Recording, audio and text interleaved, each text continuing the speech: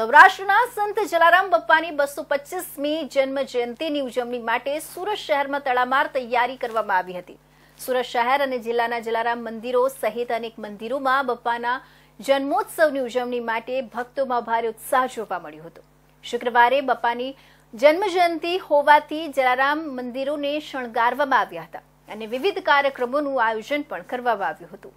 પૂજ્ય જલારામ બાપાની શુક્રવારના રોજ બસો પચીસમી જન્મ જયંતિની ભવ્યાતિ ભવ્ય ઉજવણી કરવા માટે બાપાના ભક્તો અને મંદિરના ટ્રસ્ટીઓ દ્વારા આયોજન કરવામાં આવ્યું હતું.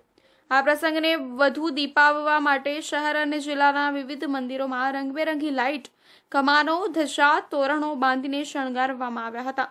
સૌરાષ્ટ્રના સંત પૂંજ્ય જલારામ બાપાની આઠ નવેમ્બરે શુક્રવારે કારતક સુદ સાતમના રોજ આવતી બસો પચીસમી જન્મ જયંતિને ઉજવવા માટે અત્યારથી જ ભક્તોમાં ભારે ઉત્સાહ જોવા મળ્યો હતો.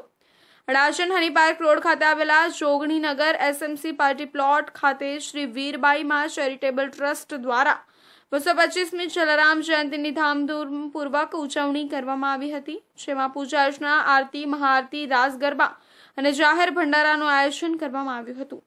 બાપાની જન્મ જલારામ જયંતિ પચી બસો ને પચીસમી સુરત ખાતે ખૂબ ધામધૂમથી ઉજવાઈ રહી છે.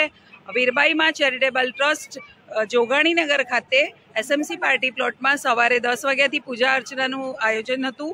જલારામ બાપાને પૂજા બાદ બપોરે સાંજે અત્યારે મહાપ્રસાદનું આયોજન છે અને બહેનો દ્વારા ખૂબ સરસ ઉત્સાહથી અલગ અલગ રંગોળી દર વર્ષે કરવામાં આવે છે. આજે ડિજિટલ રંગોળી કરી છે. એવી રીતે જલારામ બાપાની જન્મજયંતિ ખૂબ ઉત્સાહપૂર્વક સુરતમાં ઉજવવા અમારી જે સંસ્થા નામ છે તે વીરબાઈમાં ચેરિટેબલ ટ્રસ્ટ છે અને અમે લગભગ વીસ વર્ષથી જલારામ બાપાની જયંતિ ઉજવીએ છીએ. આ જગ્યાનું નામ પાર્ટી પ્લોટ આપણે સુરભી ડેરીની સામે Joganinagar party plot Honey Park road પર આવેલી છે અને આ સંસ્થા અમારા ઘણા સેવા કાર્યો કરે છે.